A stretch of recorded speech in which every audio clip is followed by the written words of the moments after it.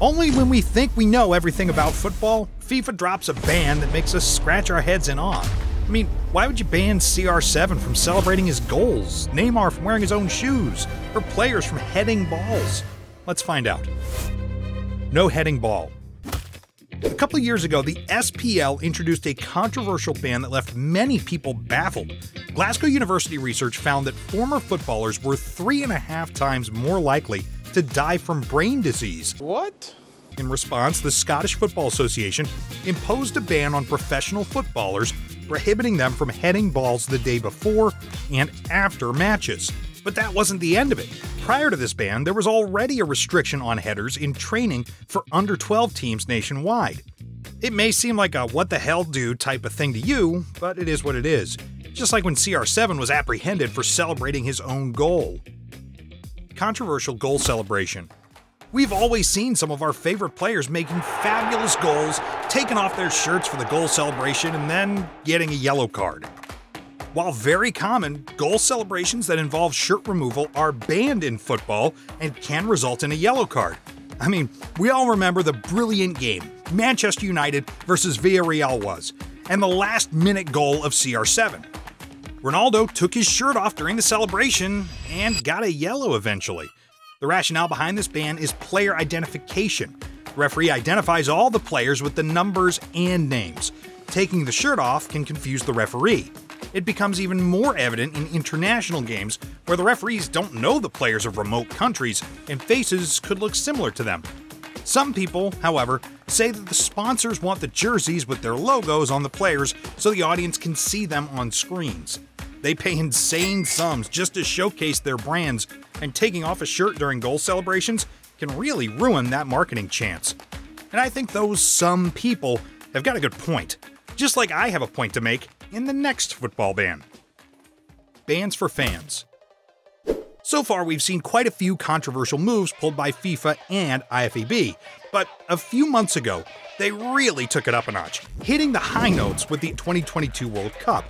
As the tournament drew near, the excitement was palpable. Well, why wouldn't it be? Qatar was gearing up for an influx of football fans from all corners of the globe, ready to cheer on their national teams. However, it seems like someone forgot to double check on what these fans were all about until the 11th hour. Qatar, with its strict alcohol policy, threw a major curveball, especially for fans from places like England, where a good time often involves a pint or two. Imagine the shock when they found out that their beloved beverages were literally banned. And while I tried my best to grasp the political and religious reasons behind it, it's still a bit of a puzzling, or should I add controversial, move, just like the next ban. Neymar's Fortnite boots. So, you know Neymar, right? The dude's big into gaming and even has his own Twitch channel. Well, to hype up some Fortnite thing, he swapped out his usual Puma Z boots for these crazy custom Fortnite kicks.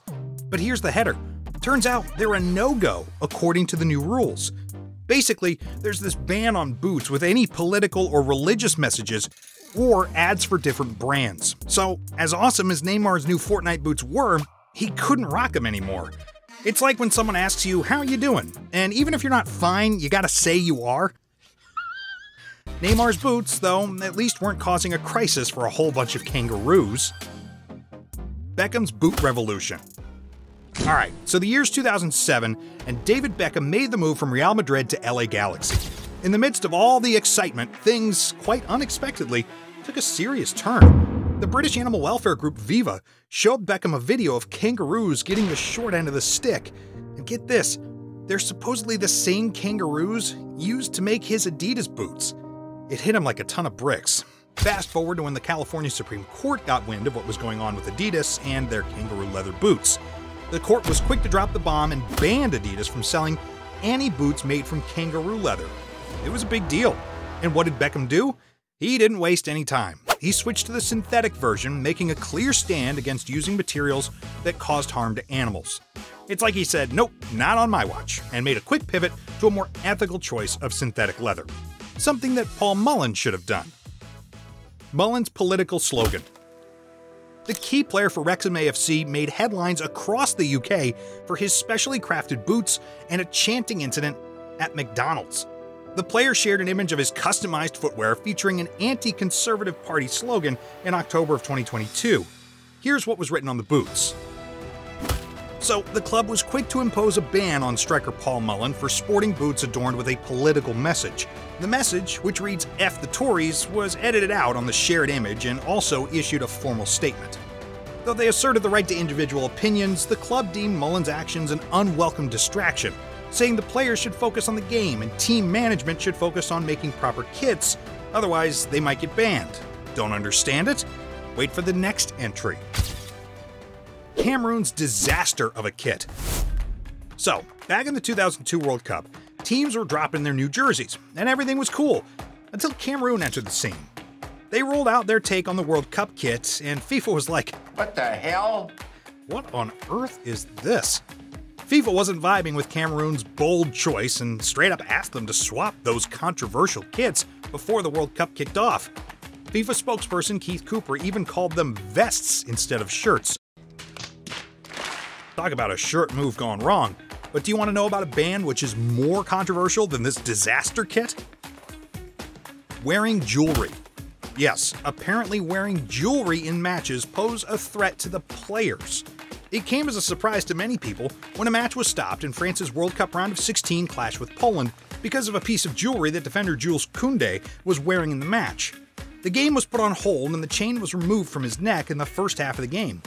It was at this point when many football fans came to know that players are not allowed to wear jewelry during matches for safety reasons.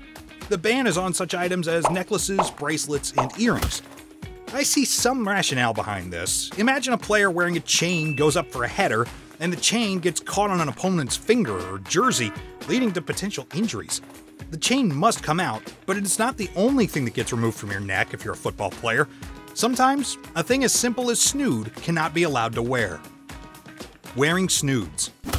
Yes, according to the eighth president of FIFA, Joseph Sepp Blatter, snoods are dangerous and can hang somebody.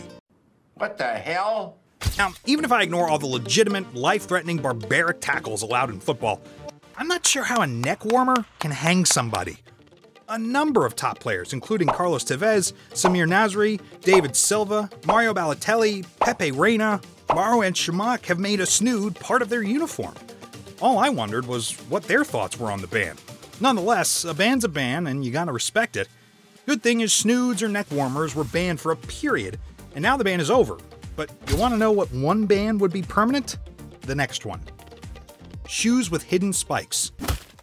No one knew anything like this could have potentially happened, but the star players Wayne Rooney and David Beckham of the English football club Manchester United suffered repeated metatarsal injuries, reportedly from bladed football boots. Such injuries have the capacity to end the careers of players, and since then, many UK sporting bodies have criticized and banned the bladed football boots. Any kind of unusual equipment that may give the player an unfair advantage is prohibited to use in football. We knew this part, but we didn't know that unusual equipment meant shoes with hidden spikes that could end the career of football players. But what about something that can actually end their lives and careers? Mandatory shin guard rule. Playing without wearing a shin guard is banned in football, and this ban makes the most sense of all the bans I have told you. Recall the ban I mentioned earlier regarding bladed boots at Manchester United? Sir Alex Ferguson took swift action when he discovered the detrimental impact of these boots on his star player, Roy Keane. Despite Keane's formidable skills on the pitch, a serious injury resulting from a tackle kept him sidelined for two months. Upon receiving the scan results, Sir Alex was alarmed to find marks from bladed boots on Roy's shin. This revelation prompted an immediate ban on all forms of bladed boots at Manchester United. Just imagine the potential severity of the injury if Roy hadn't been wearing shin guards. So, we're not messing around with this rule. It's strictly a no go. Safety first, always. Even after all these lesser known and controversial bans, that's still not it. I mean, do you know what the Ronaldo rule is? And what is the most anticipated two point line coming in football? Click the video to know.